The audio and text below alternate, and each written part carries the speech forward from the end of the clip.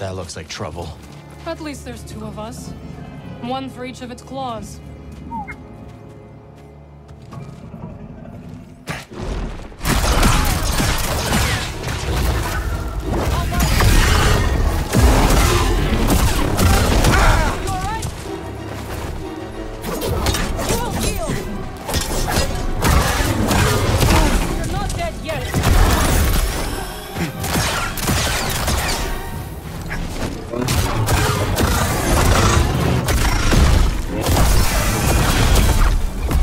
Nasty things. Did you find the way to Tanalorr? Not yet.